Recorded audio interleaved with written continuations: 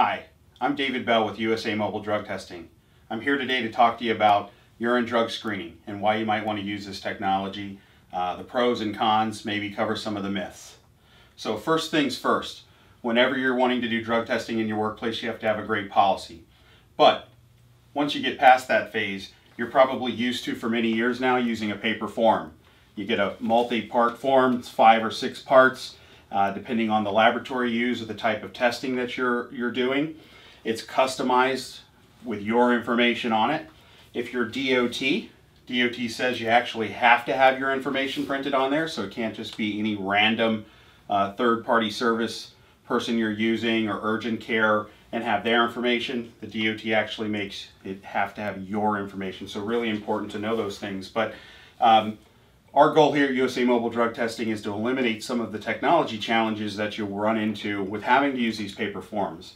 If you call us anytime and we need to send you somewhere, no matter where you're at in the country, we're going to give you via email directly to your donor, your employee, or if this is court ordered testing, it's for you, it's going to come directly to you. So you're going to take this donor pass, whether you print it out or just walk in and give the barcode information directly to the person that you meet at the clinic. You're going to get your drug test done, and it eliminates the need to have a piece of paper.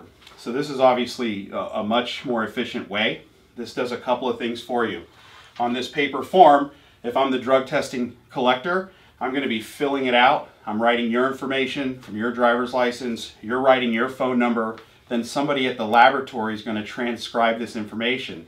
Well, you can imagine the number of people who touch this, you get lots of errors. So then that causes you, as an employer, to often have to go back and get those things changed. So moving into an electronic process lets that information get entered once, and then it speeds up the process. It's going to get your employee to a testing site much faster. And that's obviously more effective and more efficient.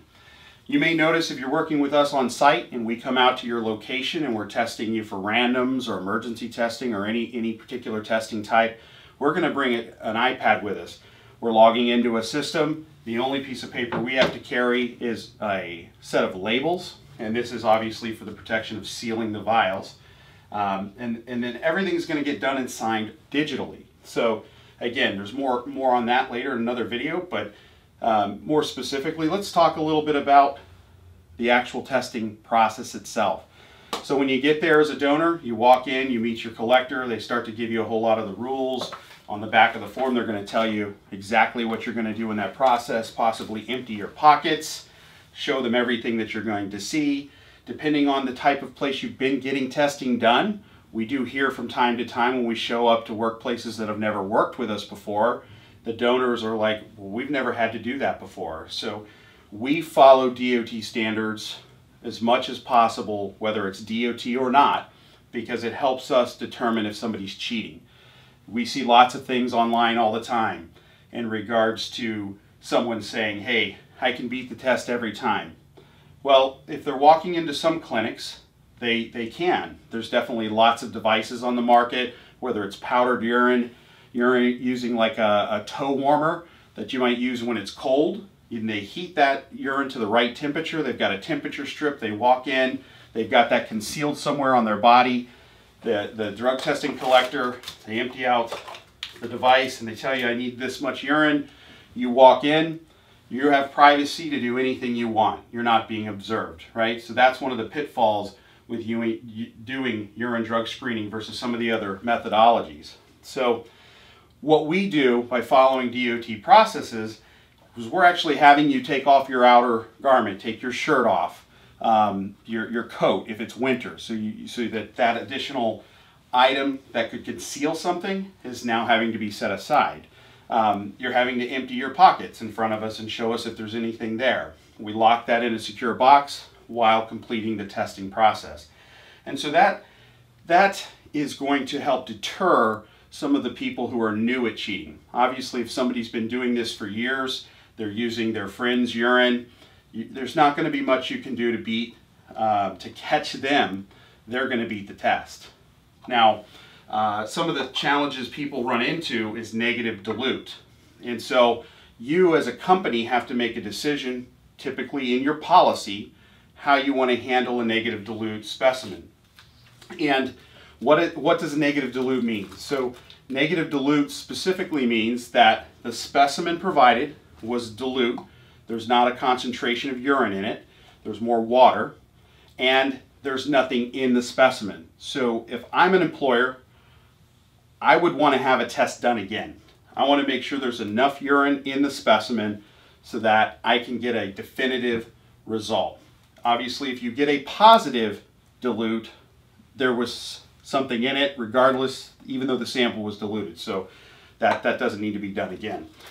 Um, as a donor, you probably don't know, but you've had drug tests done with split specimens or maybe a single specimen. Um, that's up to your employer, your particular policy is going to determine this, but very common, it's this way in DOT.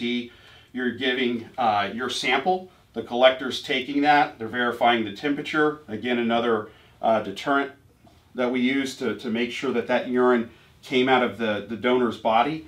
If it falls below 90 degrees or is greater than 100 degrees, that sample didn't come from that donor. So your employee is attempting to cheat that test.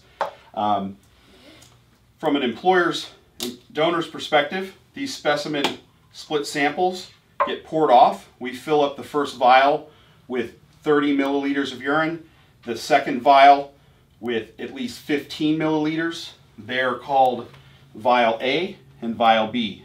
And the laboratory is going to take vial A when they receive it, and that's the sample they're going to screen. Just like you might see a rapid test done in the field, if you're hiring us to come out and give you a result today, we're going to dip a card in that specimen and we're going to determine is there the presence of the metabolite using an instant card similar to a pregnancy test. Now, you're not going to take that pregnancy test at home and, and say, hey, my wife's pregnant and, and that's it. You go to a doctor and you have it confirmed. Well, that's what we do here. We send this off to a laboratory. If you're buying just a lab-based test, that A vial is getting screened at the laboratory. If it's negative, it's reported out as negative. So your negatives come out, the results come to you much faster. If it detects something, they're going to run it through uh, greater scrutiny, some additional testing, and then potentially MRO process where you've gotten a phone call, the doctor's looking to see if you have a prescription. So what do we do with vial B? Well, it's actually stored um, and kept in case you as an, an, employee say, hey, I, I don't believe the, the result that I got. Uh, I think that, that it was wrong. Vial B is what we use as our control in order for you to have it retested. Again, that's a special request. It doesn't happen all the time. A lot of people don't even realize Vial is available to them, and as an employee, that's your right. So if they're doing a split specimen test, you have the ability to do that.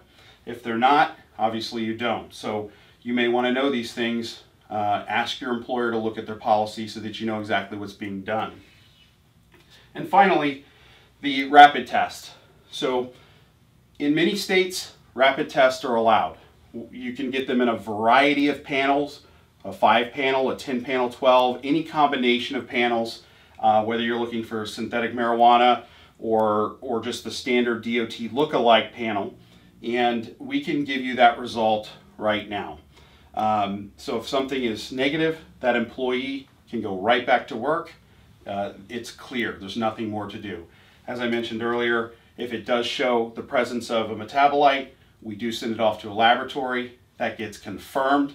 Um, when that result comes back, that's the result of record, and that would that would be what you would use to either terminate an employee, have them go into their second chance program, um, or whatever your policy says happens in the in the case of a positive. So I hope this helps you. If you have any questions, please call USA Mobile Drug Testing at 800 851 2021. USA Mobile Drug Testing